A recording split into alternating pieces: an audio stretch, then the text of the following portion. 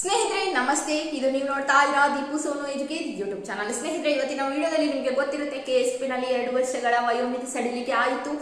S C S ಟಿದವರಿಗೆ ಮತ್ತೆ ಸಾಮಾನ್ಯ ವರ್ಗದವರಿಗೆ ಎರಡು ವರ್ಷಕ್ಕೆ ವಯೋಮಿತಿಯನ್ನು ಸಡಿಲಿಕೆ ಮಾಡಿದ್ರು. ಜಿ ಎಂ ಅವರಿಗೆ ಇಪ್ಪತ್ತೇಳು ವರ್ಷ ಆಯಿತು ಹಾಗೂ ಎಸ್ ಸಿ ಎಸ್ ಟಿ ಒಬಿಸಿದವರಿಗೆ ಇಪ್ಪತ್ತೊಂಬತ್ತು ವರ್ಷ ಮಾಡಿದ್ರು. ನಿಮಗೆ ಗೊತ್ತಿದೆ ಇವಾಗ ಅದಕ್ಕೆ ಸಂಬಂಧಿಸಿದಂತಹ ಅಫಿಷಿಯಲ್ ನೋಟಿಫಿಕೇಶನ್ ಅನ್ನ ರಿಲೀಸ್ ಮಾಡಿದ್ದಾರೆ ಕೆಪಿಎಸ್ ಕೆಎಸ್ಪಿ ಕಡೆಯಿಂದ, ಕರ್ನಾಟಕ ಸ್ಟೇಟ್ ಪೊಲೀಸ್ ಕಡೆಯಿಂದ ಒಂದು ಅಧಿಕೃತ ನೋಟಿಫಿಕೇಶನ್ ಅನ್ನ ಬಿಡುಗಡೆ ಮಾಡಿದ್ದಾರೆ. ಸೊ ಬನ್ನಿ ನೋಡ್ಕೊಂಡ್ ಬರೋಣ ಯಾವ ತರ ಇದೆ ಅಂತ. ಅದಕ್ಕೂ ಮುಂಚೆ ನೀವಿನ್ನು ನನ್ನ ಚಾನಲ್ಗೆ ಸಬ್ಸ್ಕ್ರೈಬ್ ಆಗಿಲ್ಲ ಅಂದ್ರೆ ಕೂಡಲೇ ಆಗಿ. ಅಂಡ್ ಅದಕ್ಕೂ ಮುಂಚೆ ಒನ್ ಮೋರ್ ಥಿಂಕ್ ಈ ಒಂದು ಮಾಡಿರುವಂತಹ ಡಿಸಿಷನ್ ಏನಿದೆ, ಒಂದಿಷ್ಟು ಅಭ್ಯರ್ಥಿಗಳಿಗೆ ಅಸಮಾಧಾನ ಕೂಡ ಇದೆ.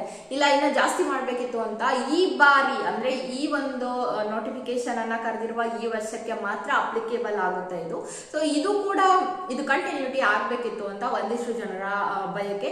ಹಾಗೂ ಏಜ್ ಅನ್ನ ಇನ್ನು ಹೆಚ್ಚಿಗೆ ಮಾಡ್ಬೇಕಿತ್ತು ಅಂತ ಇನ್ನೊಂದಿಷ್ಟು ಜನಗಳು, ಅಂದ್ರೆ ಮೂವತ್ತು ವರ್ಷ ಮಾಡ್ಬೇಕಿತ್ತು ಅಂತ. ಇಟ್ಸ್ ಓಕೆ ಆದ್ರೆ ಇನ್ನೊಂದಿಷ್ಟು ಜನ ಏನ್ ಹೇಳ್ತಾರೆ, ಲಕ್ಷಾಂತರ ವಿದ್ಯಾರ್ಥಿಗಳು ನಾವು ಈ ಒಂದು ಎರಡು ವರ್ಷ ಹೆಚ್ಚಿಗೆ ಮಾಡಿದಕ್ಕೆ ನಾವು ಕೂಡ ಈ ಬಾರಿ ಅಟೆಂಡ್ ಆಗ್ಬಹುದು ಅಂತ ಖುಷಿಯಾಗಿ ಇದ್ದಾರೆ. ಎನಿ ಹಾವ್ ಸ್ನೇಹಿತರೆ, ಯಾವ ತರ ಮಾಡಿದ್ರು ಕಷ್ಟನೇ ಅಂಡ್ ನಾವು ಹೇಗೆ ಅನ್ಕೋತೀವೋ ಆ ತರ ಆಗ್ಬಿಡುತ್ತೆ. ಬನ್ನಿ, ತಡ ಮಾಡೋದು ಬೇಡ, ಬನ್ನಿ ಅಫಿಷಿಯಲ್ ನೋಟಿಫಿಕೇಶನ್ ಹೇಗಿದೆ ಅಂತ ಕೂಡ ನೋಡ್ಕೊಂಡು ಬರೋಣ. ಅಂಡ್ ಈ ಒಂದು ಮಾಹಿತಿ ನಿಮ್ಗೆ ಇಷ್ಟವಾಗ್ತಾ ಹೋದ್ರೆ ಲೈಕ್ ಮಾಡಿ ಅಂಡ್ ಶೇರ್ ಮಾಡಿ. ಧನ್ಯವಾದಗಳು. ಸ್ನೇಹಿತರೆ, ಈಗ ನೀವು ನೋಡ್ತಾ ಇದ್ದೀರಾ, ಇದು ಕರ್ನಾಟಕ ರಾಜ್ಯ ಪತ್ರ ಆಗಿರುತ್ತೆ. ಕರ್ನಾಟಕ ಪೊಲೀಸ್ ನೇಮಕಾತಿಯ ಎರಡು ವರ್ಷದ ಅಧಿಕೃತವಾಗಿ ಏನು ಎರಡು ವರ್ಷ ಸಡಿಲಿಕೆ ಮಾಡಿದಾರಲ್ವ, ಅದರ ಅಧಿಕೃತ ಮಾಹಿತಿಯ ಅಧಿಸೂಚನಾ ಪತ್ರ ನೀವೀಗಿಲ್ಲಿ ನೋಡ್ತಾ ಇರ್ಬೋದು. ಪೊಲೀಸ್ ಕಾನ್ಸ್ಟೇಬಲ್, ಸಿವಿಲ್, ಪುರುಷ ಮತ್ತು ಮಹಿಳಾ.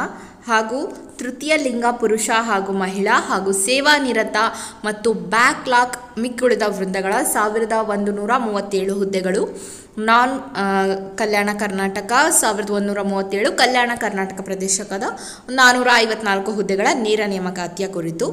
ಇದಕ್ಕೆ ಸಂಬಂಧಿಸಿದಂತೆ ನಮಗೆ ಅರ್ಜಿಗಳನ್ನು ಸಲ್ಲಿಸಲಿಕ್ಕೆ ಇಪ್ಪತ್ತು ಹತ್ತು ಎರಡು ಸಾವಿರದ ಇಪ್ಪತ್ತೆರಡರಿಂದ ಇಪ್ಪತ್ತೊಂದು ನವೆಂಬರ್ ಎರಡು ಸಾವಿರದ ಇಪ್ಪತ್ತೆರಡರವರೆಗೆ ಟೈಮನ್ನು ಕೊಟ್ಟಿದ್ದರು ಆ್ಯಂಡ್ ಅರ್ಜಿ ಶುಲ್ಕವನ್ನು ಅಧಿಕೃತ ಬ್ಯಾಂಕ್ ಮತ್ತು ಸ್ಥಳೀಯ ಅಂಚೆ ಕಚೇರಿಗಳ ಮೂಲಕ ಪಾವತಿಸಲು ಕೊನೆಯ ದಿನಾಂಕವನ್ನು ಇಪ್ಪತ್ತ್ಮೂರು, ಹನ್ನೊಂದು, ಎರಡು ಸಾವಿರದ ಇಪ್ಪತ್ತೆರಡರವರೆಗೆ ನಿಗದಿಪಡಿಸಲಾಗಿದೆ.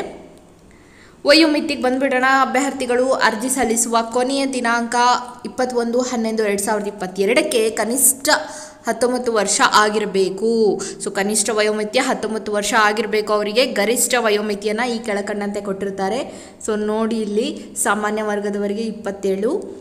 ಪರಿಶಿಷ್ಟ ಜಾತಿ ಮತ್ತು ಪರಿಶಿಷ್ಟ ಪಂಗಡ ಹಾಗೂ ಹಿಂದುಳಿದ ಅಭ್ಯರ್ಥಿಗಳು ಅಂದರೆ two A two B three two A two B three A three B ಅವರಿಗೆ ಇಪ್ಪತ್ತೊಂಬತ್ತು ವರ್ಷ. ಕರ್ನಾಟಕದ ಅರಣ್ಯ ಪ್ರದೇಶಗಳಲ್ಲಿ ವಾಸ ವಾಸವಾಗ್ತಾ ಇರುವಂತಹ ಬುಡಕಟ್ಟು ಅಭ್ಯರ್ಥಿಗಳಿಗೆ ಮೂವತ್ತೆರಡು ವರ್ಷ ಇಟ್ಟಿದ್ದಾರೆ. ಈ ಒಂದು ವಯೋಮಿತಿ ಒಂದು ಬಾರಿಗೆ ಮಾತ್ರ ಎರಡು ವರ್ಷಗಳ ವಯೋಮಿತಿಯನ್ನು ಹೆಚ್ಚಿಸಲು ಸರ್ಕಾರವು ಈ ರೀತಿಯ ವಯೋಮಿತಿಯನ್ನು ಕೆಳಕಂಡಂತೆ ನಿಗದಿಪಡಿಸಲಾಗಿರುತ್ತದೆ. ಅರ್ಥ ಆಯ್ತಲ್ವಾ? ಇದರ ಒಂದು ಅಫಿಷಿಯಲ್ ನೋಟಿಫಿಕೇಷನನ್ನು ಕೂಡ ಕಡೆಗೂ ಬಿಟ್ಟರು ಸ್ನೇಹಿತರೆ. ಆ್ಯಂಡ್ ಐ ಹೋಪ್ ಈ ಮಾಹಿತಿ ನಿಮಗೆ ಇಷ್ಟವಾಗಿದೆ ಅಂತ ಅಂದ್ಕೊಳ್ತಾ ಇದ್ದೀನಿ. ಧನ್ಯವಾದಗಳು.